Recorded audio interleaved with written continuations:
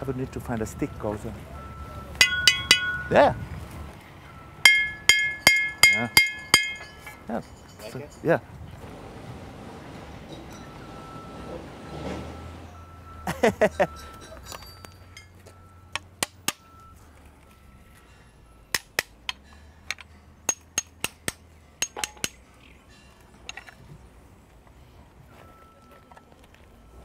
This is an unusual sound. Okay, Yeah. take it. Yeah.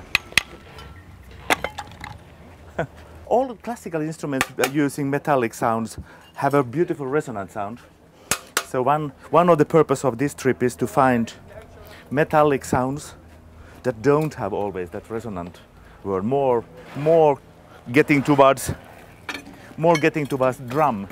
Really, a type of sound world that wasn't used in classical music ever. The whole idea is always to to get the local sound of it. yes. Yeah. Like that? Yes.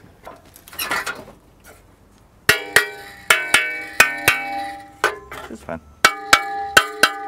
The nice thing with this is it's also the the suspended aspect of them.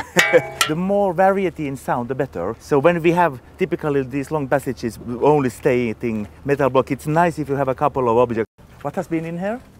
Oxygen. Ah, it's perfect. But this is probably too heavy for. What's in there? All the, the engine blocks. Sort of quite timid sound.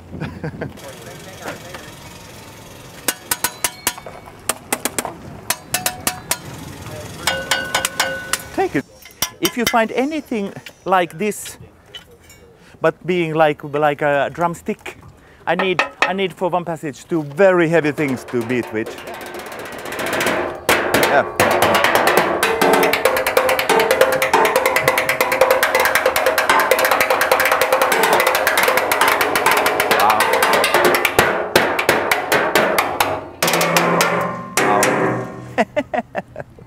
Very good. haven't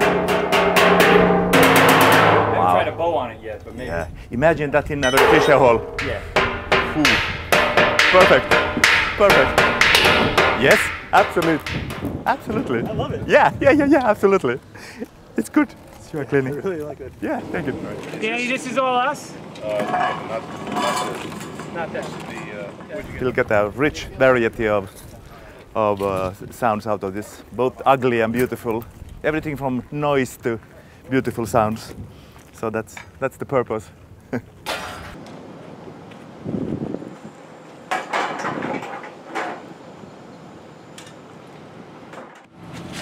make a band. You take the two back ones. All right. Are they empty or are they full?